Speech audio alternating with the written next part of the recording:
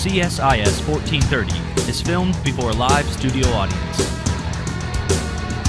All right, so what we're going to be talking about today is a couple things: the box model, and then positioning. And the box model is tricky business, and positioning is trickier business. And part two of positioning is trickiest business of all. Right? Before we get there, though, before we get to the box model and positioning, I want to make sure that we're clear on a couple things. So, first thing, what are the three foundational components of CSS? They are selectors, properties, values. There we go. Now, next question. How do you get good at CSS? Practice. Practice what? What do you got to kind of know? Yeah, you got to know those three things on the screen, right? You got to know what are the selectors. You've only been exposed to like three, right? How to select all H1s or all images or all divs or whatever. And then you've been exposed to classes and IDs, right? That's all that you've really seen. Maybe one other one in the other video, but that's about it. We're to look at maybe one or two more ideas here today. There are about 60, maybe that's a little high, but 40 or so selectors out there, different ways to select things. You can select things based on if it has a particular attribute in it. You can select things based on where it's at in the document. Like I can select specifically target the third LI in a bullet point list. You can do all kinds of crazy stuff.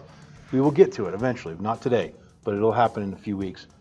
But properties and values, you got to know those now, right? And you can't memorize all properties. There's just there's too many, right? I mean, you can, but there's no need to, right?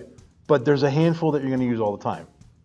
Padding, margin, border, font, color, background color, things like that. You're going to use them all the time, okay? So you got to get used to them. Some of them have specific values, like for example, border dash style, right? There's only a handful of values. There's dotted, there's dash, there's inset, outset. There's a few that we've looked at, right? All right. So I want to make sure that we feel okay there and you understand going forward how to get better at this stuff. Then I'm going to lead you into the box model now. So I gave you two little, call them mantras, on the day one of CSS, which was a week ago, I think, from today. Do you remember what they were? Everything is a box. That's one of them. Very good. Everything is a box. So I have one indoctrinee into my cult. Everything is a box. That's thing number one. There was one other one. Put a border on it. What does that mean? I haven't told you what it meant yet. Okay, but put a border on it. We'll see what that means today. All right. So let's dive into this box model business. All right, so take a look at this thing on the screen here. This is a mock-up of how the box model kind of works. Now notice the different color squares there. Those are enlarged just for clarity's sake. Now you do have control over in your real box how big they are. But this is a box. Well, what's a box? Everything. Everything's a box, right? Everything is a box. It's a paragraph. It's an image tag. It's a div tag. It's a span tag. It's an anchor tag. It's a whatever. It's a box. Everything's a box. Okay? This is how they work. First of all, inside in the little yellow section there, that is, let's say this is a paragraph, for example. That's where the text goes, the actual content of the box. The content of the box might be another box. It might be an image tag. It might be something else. But whatever the actual content is, is in that yellow section. Then you can put a border around it, which is the blue there. And the distance between the content and the border, that purple section, that's the padding. Okay? So ignore the red for just a minute. The blue is the actual width of the box. It's how that's the edge of the box width, right? The border. Sometimes you don't have a border on it. Sometimes you have a skinny border, sometimes you have a huge border. Just depends on what you're doing. The red, the margin here is your real estate that you own as a box. It's like your fence around your yard. Okay? Your house is the box. Okay? The yard is your fence. And your neighbor cannot put their house against your house because there's a margin there, there's some space. So in that little space between your neighbor and your house, that's the margin area, right? It's not the actual house. That's what's going on here. That's what the red is. What makes this a little interesting, a little tricky, is if you decide that you want the width of a box to be, say, 200 pixels, but then you put a padding on it and a border on it, which is this is probably what you were talking about a second ago that was frustrating you, right? You put a padding on it and a border on it, suddenly the width is no longer 200 pixels. It's 200 pixels plus the padding plus the border. The box resizes, right? And that can be very frustrating. I'm going to show you how to deal with that today, okay? That's the basic, you know, overview of the theory of it, but let's see this in action. Let me show you guys a little trick that I do here that you can copy this idea if you'd like. The only exception is you cannot do this on your five minute websites, all right? But here's the idea. In my CSIS 1430 folder, just like I had you guys set up, I have a thing right here that says web template, right? Inside of web template, there's a CSS folder, an image folder, JavaScript folder, and the index. And inside of CSS, there's actually a style sheet in there. Inside of JS, there's actually a JavaScript file in there. We'll learn about that another day. There's even a couple images in there. And if I open up the index file, you'll see that it's linked up to my style sheet and my JavaScript, which we'll learn another time and it's all ready to go. It's a, it's a project just ready to go. So what I do when I'm going to do a new project is this. I just copy that web template, copy paste, control C, control V, or command C, command V, and then I rename it to boxes or whatever. So there it is. That now I have a project ready to go. So you can do that for each of your assignments. Just get a thing set up, a template set up, and then use it for all of your assignments. I'm going to drag it out to my desktop though. Right here. So we have access to it and we can play around with it. First thing I'm going to do is delete this stuff that we haven't learned yet. So don't worry about that. Don't worry about that. Everything else is ready to go. We'll just call this box model. And I'm going to open up the style sheet and we'll get rolling. And the style sheet has some stuff in it I'm going to have you also ignore for the moment. We'll learn another time. So here we go. First thing you can see in my style sheet, that top line there, that's how you make comments. Slash star, put the comment in, and then star slash. Right? You can make comments to yourself just to organize things. All right, so let's look at how this box model business works in action here. So in the body, I'm gonna make a div. All right, there we go, four boxes. So when I refresh the page, which I don't even think I've opened yet, what do you expect to see when I open up the page? They'll be stacked, like so. Okay? Why are they stacked like so? Because from the last video, we learned about the, the display property, right? Their default for almost every element, the default is block. What does that mean? Well, here's one way to find out. Put a border on it and you'll be able to figure it out. Okay, let me show you.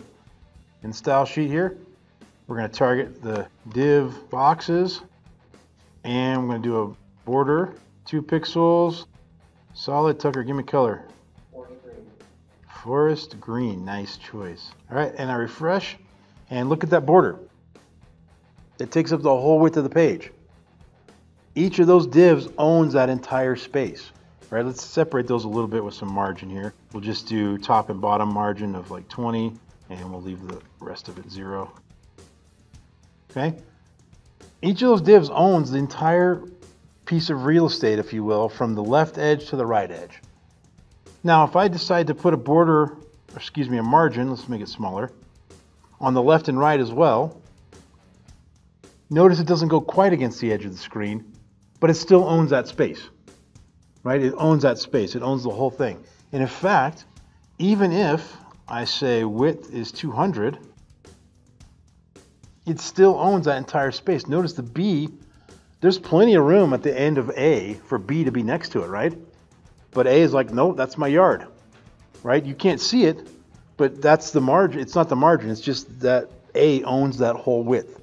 The margin's only little teeny five pixels or whatever I put in there, 10 pixels or whatever. But it owns the entire width. All right, we good on that concept? I'm gonna give it a height of 200 as well, so that it's a square. And let's shrink it up a little bit.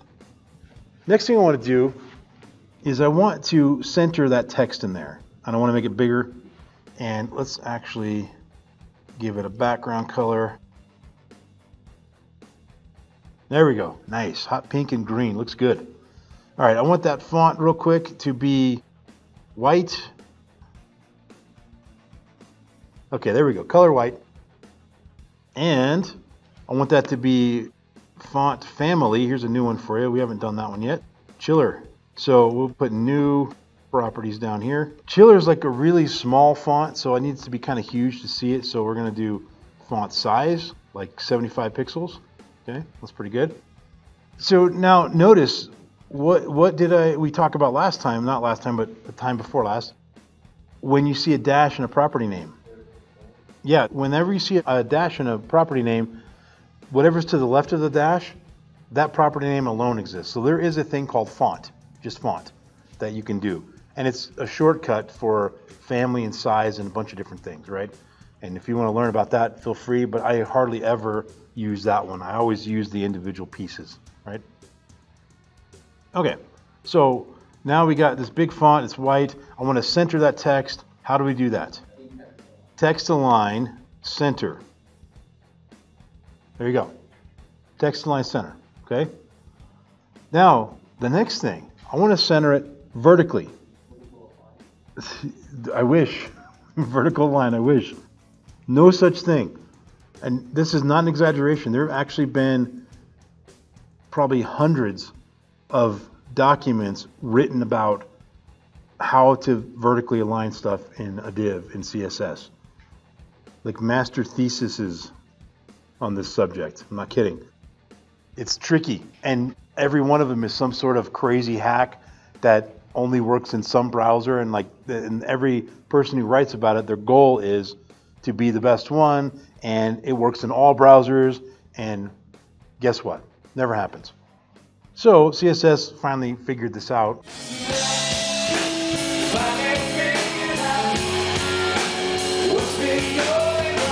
And this idea of Flexbox was developed, right? We're not going to learn about Flexbox today, but Flexbox will solve all of your vertical alignment issues. I promise. Flexbox is awesome, okay? But we still need to use this stuff. So my question for you is, how could I sort of mimic vertical centering with this, with some of the things we already know. Uh, not margin, close. Padding, right? If I, t- if I change the top padding, push it down, that'll push the A down, right? Or the B or the C or whatever, right? So padding top, and we'll give it like 55 pixels. And the A and the B and the C and the D will move down, but the box got bigger, right? Why'd the box get bigger? Because height is equal to whatever height you said it was, plus the padding, plus the border, right? Well, the border in this case is like two pixels, so that's four, top and bottom, two, two each. The padding is 55 on the top, so now we're at 59, plus the height of 200, so 259 pixels is how big that box is. That's messy, right? One way you could do it is subtract that from here, so what's 200 minus 59? That's 141, is that right? Sounds right. Maybe that works. That works okay, right? It's not bad. Now the box is 200 tall total. But what if somewhere along the way you change the padding or something? And now you got to go back and change the height of all your boxes again. It's kind of ridiculous. There's got to be a better way. There's got to be a better way. There is a better way. Let's go back to 200. There's a property called box sizing. Box sizing has about four, three or four values, right? One of the values is called border box. Box sizing border box says, hey, CSS, listen carefully. I don't care what you have to do, but when I say height of 200, I mean height of 200. I don't care if my border is 10 pixels wide. I don't care if, or 10 pixels tall. I don't care if the padding is 50 pixels. I want the entire box to be whatever I said on line 9 and 10 there. So this will override all of that stuff where everything resizes out of your control. And you'll see that going back here, this looks the same because we I changed the number back to 200. So when I had that 141, it was it looked the right way. So if I take, in other words, if I take this out, we get that problem. But when I put it in, hallelujah, we have what you're looking for. And that would probably solve the problem you were dealing with, right? Yes. It is very frustrating when you don't know about that. Okay, so questions about that basic idea. Good question. The question is, can CSS do variables? Can I set something like, you know, website padding equals 20, and then everywhere in my CSS just refer to that instead of having to type 20 everywhere or whatever? And the answer is yes. I've actually added it to this semester as a, a topic that we'll be covering in the future. First, for this will be the first semester we actually cover it. Because in previous semesters, I didn't want to cover it because the browser support was too risky. And that's typically how I've modeled this course. Every semester I usually add new topics. When I add them, they're maybe a couple years old, but the reason I wait is because I wait for browser support. What's the point of teaching you something that's supported by one browser that nobody uses, right? So now it's at a point where it's useful. So we will get to that eventually. Yeah, that's that's good stuff.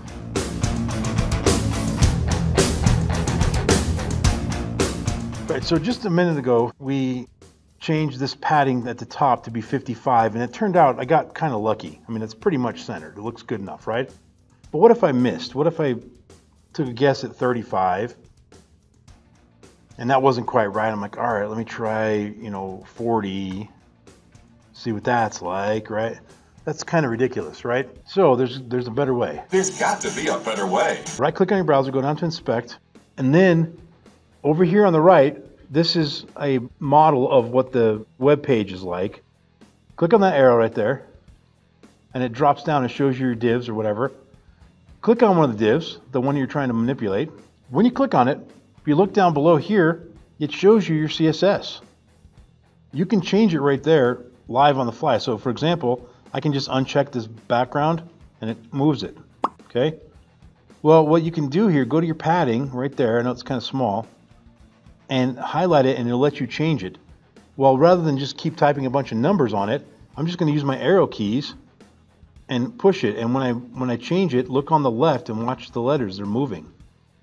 So as I'm changing it in the style sheet, I'm seeing it live, real time, being changed. And I keep moving until it gets where I think it looks good, and I'm going to stop right about there. And it turns out that says 61 pixels. Now that doesn't change my style sheet. It just plugs in a number to see what it would look like. So now I go to my style sheet and put 61 in and it'll, and it'll be where I wanted it. That's a handy trick. I do that all the time. Use it to line it up and eyeball it, see exactly what you want, and then put it in your code. All right, so basic box model stuff. Feeling okay? All right, phase two, positioning. We're going to talk about two parts of positioning, okay? We're going to talk about the float, and we're going to talk about like actual positioning where you physically grab something and stick it where you want it, right? The float is first, though. Let's look at that. So right now, remember what A does right now, it takes up that entire space across the top row. B takes up the next spot, and so on down the line. Well, because of that, B is forced to go on the next line. C is forced to go on the next line. But if I wanted to, I can push them all next to each other, right? I can have them float to the top, really float to the left. So what float does is this. Currently at the moment, A owns this entire real estate right here. And so when B comes along, moves into the neighborhood, B's like, dude, I want to be your neighbor. And he's like, too bad. I own all that property. You're not getting anywhere near it. So he's like, fine, I'll move in down here. Right? Same thing with C. Same thing with D. And of course, they each follow suit. B is like, well, fine. A's being a jerk. I'll be a jerk and won't let C move in next to me. Okay? Well, when you float, here's what happens. B is going to float to the left and move like Pac-Man and come out on the other side of the screen like Pac-Man does, right? It's going to come out right over here. And he's going to keep going until he runs into A's margin. Now A's margin at the moment is 5 pixels, so B will never get closer than right about there with my perfectly straight line. Will never get closer than that, right? And then C is going to do the same thing when we turn the float on.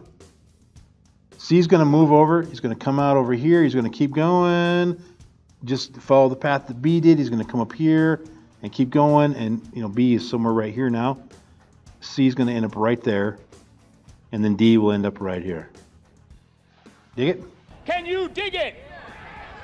Can you dig it? So let's try it.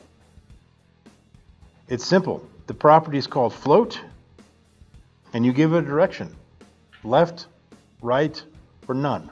We're going to float left, and we shall see exactly that behavior I just described. Now, are they really scooting off the screen and moving to the right? No, not really. That's just a way to think about what's going to happen. Okay. With that being the case, let's go back to no float. I'm going to float it to the right now. What do you expect to happen based on what I've told you about how the float works?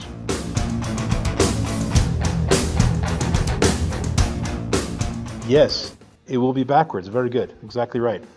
Because A is going to float all the way to the right, and then B is going to float all the way off of the right, so far to the right that it's going to up on the left side of the screen at the top row, and all the way over till it bumps into A, and so on and so forth. So it's backwards. Okay. Now, what potential issue can you see with that?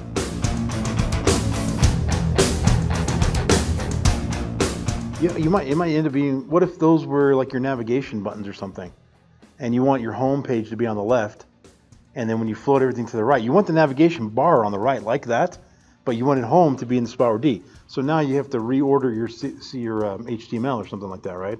There are other ways to deal with this, but maybe the content's now out of whack. Maybe you wanted what's in A to be the first part of the content. So there's lots of things you have to think about when you're floating. Again, Flexbox solves a lot of this stuff. But here's the thing. When Flexbox first came out, the whole HTML and CSS world was like, oh, great, we don't need floats anymore. And then when the grid came out, which we will also look at in this class, everybody's like, oh, we don't need Flexbox anymore.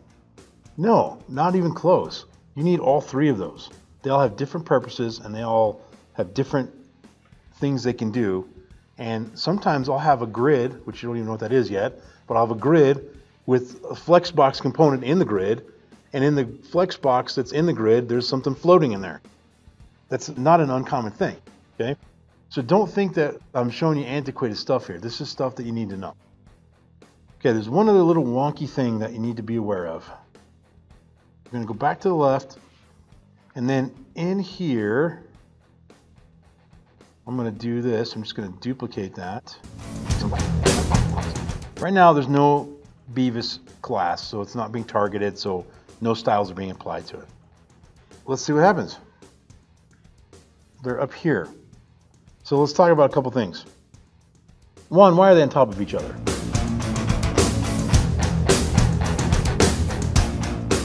So what he said was it has something to do with what's going on with the float, but I'm going to remove these things that are being floated completely out of the document. So all we have is these little ABCDs here. They're still stacked on top of each other. Why are they stacked on top of each other?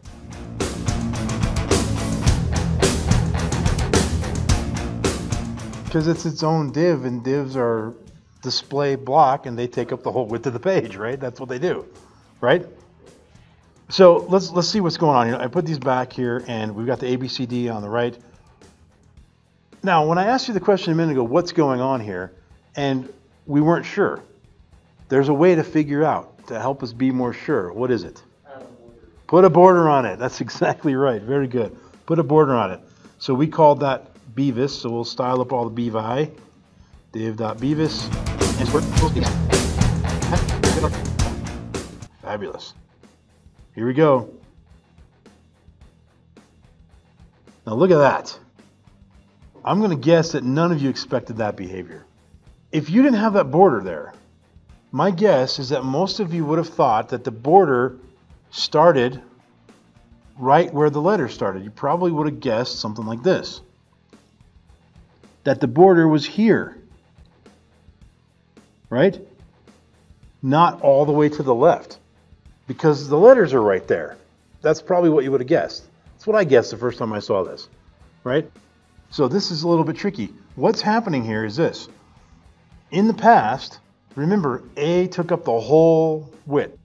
Even when you told A to only be 200 pixels wide, it still owned the whole width. So it wouldn't allow B anywhere near it. Once you turn the float on, that goes out the window.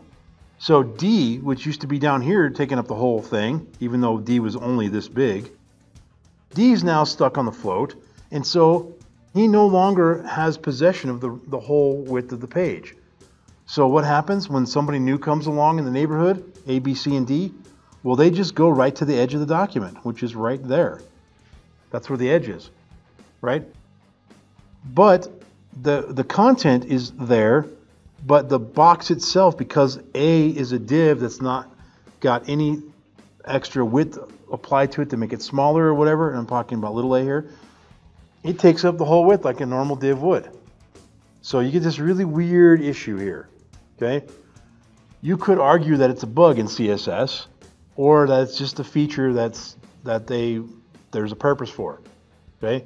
I don't know that I find a useful purpose for it, but there's a way to fix it.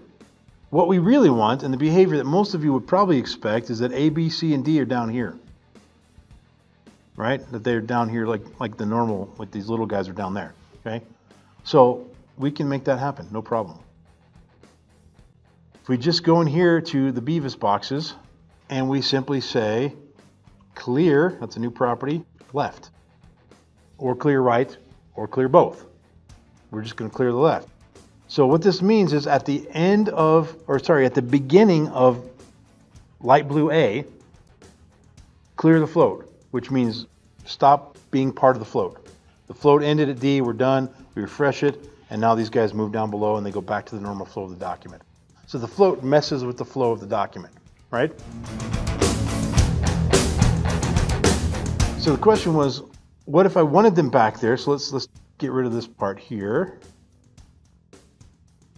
We wanted them there, but we didn't want that border to go all the way to the left. There's a quick solution for that. There's a couple ideas. You just float the little, the other A's, right? So you could float the rest of them. So let's just leave the, put the float on these guys as well. Because notice, Beavis is not floating, right? Box is floating. Div.box is floating. So Beavis, which is all the light blue guys, they're not floating. They're just going to where the end of the document is, which is at the end of D because D is floating right? But now if I want to float them as well, we'll get almost what you're looking for, right? They're, they're not taking up all that space. They're just taking up however much room their content is because I haven't assigned them a width yet, right? If I assign them a width, they can, we can adjust that. But you want them stacked, right? Yeah. So to get these to go from there to being stacked on top of each other, here's probably the easiest way to do it. Take Beavis here, Put a div around it called class wrapper or pick a name, doesn't matter what the name is. Put these guys inside. So now I have this one thing called wrapper that I'm going to float up against D, right? So let's go back over here and we'll do div wrapper and put the float on and then we'll leave this alone and refresh and that should give you what you're looking for, right? Now, it took me 20 years to get to that point where I could see a solution like that. Right? Don't feel bad if you're like, I have no idea. I would have never come up with that. Don't feel bad. Okay, this stuff is crazy. But where I started getting good at it is the mantra: put a border on it, stick a border on it. So right now, if I put a border on the wrapper here, two pixel solid purple, I can see exactly what's happening there. That box is just the size that I told it to be, which was default of be as big as your content. That's it. Okay. And now it's being floated, it's floating just like A, B, C, and D. Normally that purple box would take up the whole width of the page. But because we floated it, it's just taking up a little bit there. Exactly, yeah, we put four boxes in a box and we floated the box. Exactly right. Deep, man. Sure, the question was, can I just put a border on everything in here? Yeah, you totally can do that. The issue we'll run into, first of all, the ones that inside of the CSS that I put in the content is overriding everything. So if I get rid of all of this, get rid of all these borders here, override. So now nothing's going to override it. Now everything's yellow. Well, let's just take, for example, this ABCD right here those two yellow borders there doesn't really help me distinguish which the outer box and what's the inner box. I'm not going to leave the border in the final product. This is just me for troubleshooting, right? And so if I want to figure out what's going on with the little A, B, C, and D here, I need two different colors so I can see, right? But yeah, you can apply a border to the whole thing if you want. And if you're, depending on what style you're doing, you that might be a thing you would do as a style choice to put borders on everything, depending on what you're doing. But as far as the troubleshooting goes, I put individual borders on everything. Now, sometimes what I will do is I'll have a second style sheet that is just all the borders it's it's the purple one for the divs and the light blue one for these divs, and, and just that's all that's in that style sheet. And then in my HTML, you can have multiple style sheets in there. I'll just turn that CSS on and off in the HTML, and then I can turn the borders on and off very easily, just while I'm troubleshooting. Okay, and I'll show you how to do two style sheets in a minute. Other questions about this floaty business? This is the easy part of positioning, by the way. Okay, the next part is trickier. All right, let's go down to here and inside a position and inside of Pandora's box is a cat. What I want you to imagine, this is a house. The yellow is the house. The gray are bedrooms or some rooms in the house. The green is your yard. The white is a white picket fence. Okay? All right, the cat is some box that's right now he's nested. He's in a room that's in a house that's in a yard. Dig it? Can you dig it? Can you dig it? Like all cats, he is evil and disobedient. And you're going to tell the cat a very specific place you want him to go, and he will refuse. You tell the cat, I want you to stand in the corner. You're being punished for being evil. And the cat will refuse. And the way you tell a cat to stand in the corner, you say, I want you to go to the top zero position and the left zero position. Top zero, left zero. Well, you tell the cat that and he doesn't do it. You put in your code top zero, left zero, and he just sits there and looks at you. Nothing. Then you got to get firm. And you say, I'm absolutely demanding you, cat, to go to top zero, left zero. So the cat's like, all right, fine. I'm going to go. You didn't tell me zero what, what room. I'm going to go all the way out to the fence and sit right there. Top left, zero, zero. Because he's a nasty, mean, annoying cat, because that's what cats do. So the moment I told him absolute, which is a property we're going to look at, a value, he decides to go all the way to the top. Okay, let's start there. Let's take a look in the code. So here in the code, here's the HTML, and this is the green yard, the yellow house, the gray rooms, and the cat is inside of the gray room, right? And then we have style number one, which makes it look like that PowerPoint, the style sheet number one. Style sheet number two is empty. We're going to put some stuff in it. Actually, get rid of that. We're going to put some stuff in it in just a minute. Let's run it though, see what it looks like first of all.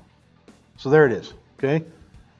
So there's the cat, there's the gray room, there's the yellow house, and there's the green yard with the white picket fence. All right.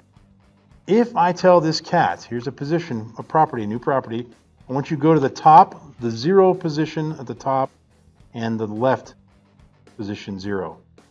What I'm saying by those num those values is I want you to move zero pixels, points, whatever's down from the top. So zero from the top is just on the top. And I want you to move zero from the left, which means you're all the way at the left. You're standing in the corner of the wall. But when I do this, I told you the cat refuses. I refresh, the cat does nothing, sits there because he's evil. Just look at him. Look at that face. Evil. All right. So I told you I had to put my foot down and I say, I want your position. I want you to absolutely do what I said. Position absolute. Now the cat says, fine, I'll do what you said. But because I'm a sarcastic cat, I'm going to go all the way to the absolute edge of our property. And I'm going to go sit on the fence right there. That's the top zero, left zero, isn't it? Even though I wanted you to do it in the room you were in, not on the edge of the fence. These cats are annoying. All right, we can control the cat's behavior a little bit. What I need to say is, what I meant to say to you, dumb cat, is I want you to go to the top zero, left zero, relative to the room you are in. Follow? So, he's in the gray room originally. And that's where the HTML puts him, is in that gray room. The style moved him out. So I'm telling the gray room that whenever I tell one of your children, which the cat is a child in the, in the document, whenever I tell one of your children to go somewhere absolutely, I want them to do it relative to you, gray room. And so now he will go to the top left of the gray room because that's what we told him. Or I could have said, no, don't do it relative to the room you're in, do it relative to the house. Now he goes there. Or I could even say, do it relative to the yard. And he will go there, which is different from where he went a minute ago. He went, what he does, and so believe it or not, this cat is more obedient than we give him credit for. Because you said, I want you to absolutely go to zero, zero. And he goes, okay, do you want me to do it relative to this room? And according to our code, no, we do not. Okay, do you want me to do it relative to the house? According to our code, no, we do not. Let's move this out. Do you want me to do it relative to our yard? No, I do not. And he's like, fine, I'll just do, I'll go as far as I can go without leaving the property. I'll go on top of the fence. So, what's the fence in this metaphor? It's the edge of the document itself. It's that's outside of HTML, right? HTML is as far as you can go, but the document is a little bit further, right? Okay? So he's on the edge on the document. That's where he will go if you do not tell him relative to what. And we've talked about this idea of relative before, where if I say that the keys are in the drawer, well, that kind of depends on what desk you're sitting at, doesn't it? Right? And so if you're sitting at your desk, no, the keys aren't in your drawer, they're in my drawer or whatever. So this that's the same idea here. We're saying, I want you to be positioned absolutely, but relative to this room or this room or this room. And if you don't tell him which room, he will just assume you meant the whole document. Dig it? Okay, that's one of the trickiest parts about positioning, is grasping that. The moment I remove this absolute here, he just sits there and ignores you. So there are four properties, there are four positions, top, right, bottom, and left. You can position using all of those. There's no center, because center, there, there's no reference for it, right? The way you would do center is you'd calculate the width of the page, then divide it in half, which you can do that with JavaScript, right? All right, so we could tell him, I want you to go 200 pixels from the top, right? And 200 pixels from the left, that's 2000, 200 pixels from the, I could tell him that. And again, he'll just simply ignore me. The only reason he's sitting where he's at right now is because my other style sheet that we haven't really looked at puts him there, right? Style sheet number one, right here, tells the cat that you are, where is it? No, it's not there. It's the padding right here in the gray room. There's a padding of 50 in the gray room, so that pushes the cat in a little bit by 50 pixels. But this style sheet number two overrides all that because it's further down in the document, right? That's why it's winning. I did that on purpose, A, to show you how double style sheets work, or triple, or whatever, and B, just for the sake of explaining all this stuff. Okay, so back to the cat. This is where he's, that's his position that he was born with. That's where he just lives, right there. We can move him around by absolutely positioning him relative to his parent or grandparent or great grandparent or the great grandfather of all, you know, the document. All right, so right now he's not going anywhere because we didn't tell him to change his position. So now we're going to change him, your position to absolute. And now he will listen to us because we're firm. We say absolute, move. And he goes 200 from the top of the document and 200 from the left of the document. If I were to change this part and put, make that from the gray room, now he's 200 over from this spot right here, right there in the corner. And again, if we move that to the yellow house, that'll put him roughly, I don't know, somewhere right in this range. I was a little off, but there is from the yellow is relative from that. So on down the line. So there's one other thing we have to watch out for, okay? And this is when people first learn about the relative position, they do this and they they confuse themselves. Okay, let's put you back to where you belong, sir. Okay, right there. When I first learned about relative, this is how I saw everybody do this. Okay? Let's go back to saying we want you to top zero, or let's go, yeah, we'll do zero. And bottom, no, not bottom, left, zero. Okay? Now, again, he won't do anything because we didn't tell him absolute. But you can also tell him himself position relative. This gets weird. Okay? When I do this, nothing changed. But he actually did do something different. What this means is I'm telling you position yourself at 0, 0 relative to where you are right now, which is exactly what he did. He's already at 0, 0, right? That's just where he's at relative to himself. He's not at 0, 0 relative to any of the boxes on the screen, the gray or the yellow or the green. He's relative to himself. So if I said that I want you to move over 10 pixels, if I tell him to do that, he will move 10 from where he's at. Not 10 from the top of the gray, the room he's in, but from himself. He'll move over 10. And now he's over just 10 from where he was originally.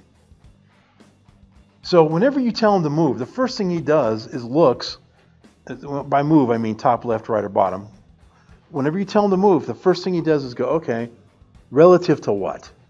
Myself, which is what line 18 says. Nope, not myself. Okay. Well, is it the gray room, the yellow house, the green yard, anything like that? Not only is it not that, but they didn't tell me specifically anything about my position, so I don't even have a framework. So right now, I'm not going to do anything. But they said, okay, I want you to position yourself absolute. And then he still asks questions. Well, absolute relative to what? My mom? My grandma? My great grandma? Right? On up the line until you get to the end. Okay, how do we feel about that idea? Good? Okay. So let's just stick with that for a minute. We're going to make him go to the top of the page right now because we didn't specify. And notice he's 10 pixels over from the top of, of sitting on the fence. So if we put him back at zero, now he's back up there. Now when I scroll, he just moves with the document, right? But you can change that behavior. You can say, I want you fixed. Notice he stays where he's at with one minor change.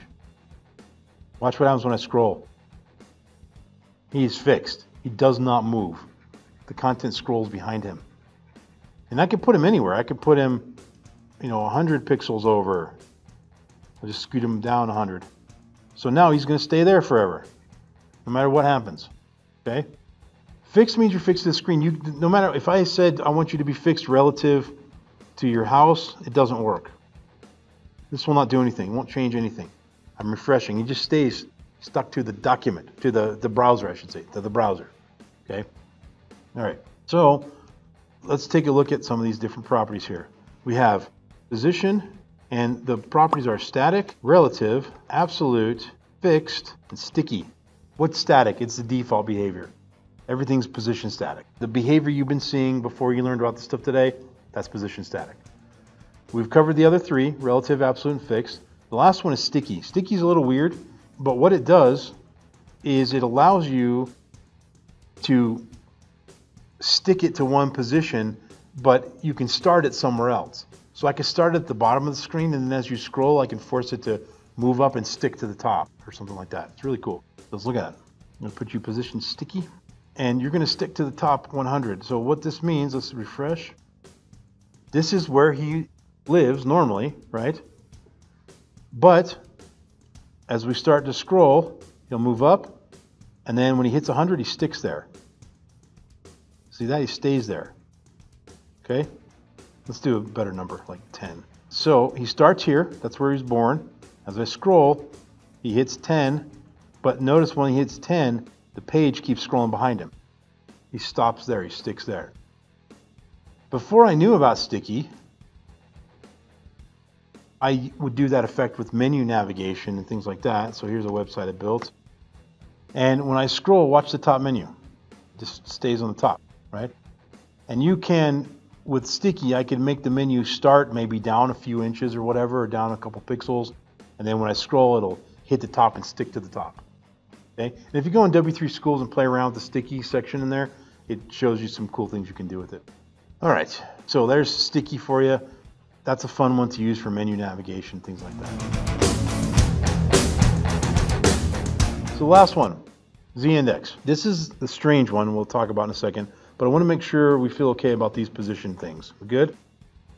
Once you've declared a position, one of these things, then you are now allowed to use top, bottom, left, or right and position them exactly where you want. Okay? And remember, whatever number you put after that, I'm saying I want you that many pixels over from the left or from the right or from the top or from whatever. Okay. Now let's take a look at the z-index.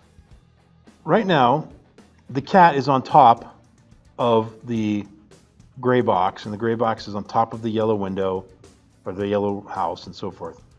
The reason they're in that position is because they are in that order in here. It's just the order I put them in. Right? The order of the document changes things. So in other words, if I put this box, this gray box here, oh, let's put this cat right here. This is the one that's got the cat in it. If I move the cat down to here, well, now he's over in that room because I moved the whole room. I didn't just move the cat, I moved the whole room. Gets the order of the HTML, right? Okay, well, that's what determines what's on top of what. But you have, it's actually, there is a Z index and you have control of that layer. layer. The only way to do that though is you have to be using the position property as well. For example, right now the cat is on top of the gray room. I can put the cat behind the gray room if I wanted to. Okay, so here's how we do it. Go in our style sheet and we're going to position the cat absolute. Actually, we'll do relative to itself. Relative to itself. And we're going to change its z-index. Now, the way the z-index works the default value of everything is zero. So everything's at z-index zero, which would theoretically mean everything is on the same plane, except position in HTML puts things on top of each other. Okay. If I want to move the cat back one below the gray thing, what do I need to change its z-index to? Yeah, neg some negative number. Negative one will do it. Okay. So I do negative one. Now let me see. Let me just make sure where the cat class is being applied and it's on this div right here, which holds the cat. So that, yeah, that div will go behind the gray room. Okay, here we go.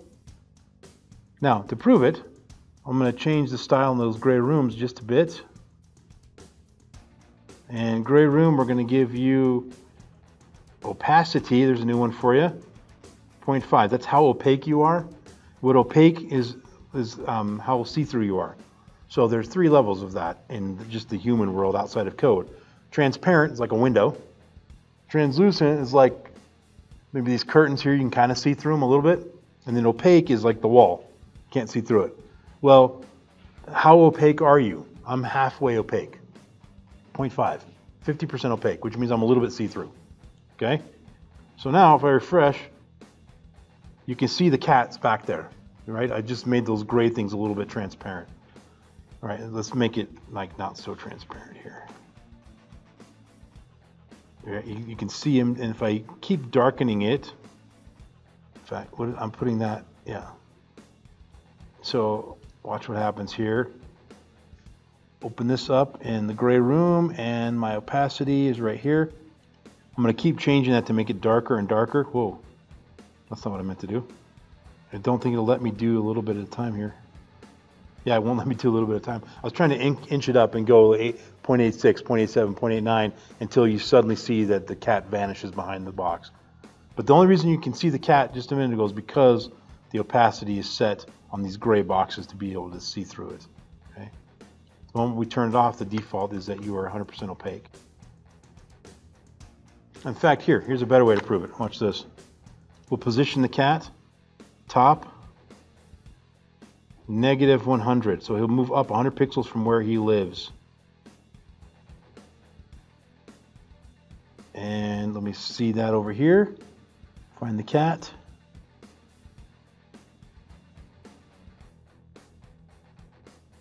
And we want to just, I'm going to keep going until he shows up above the box.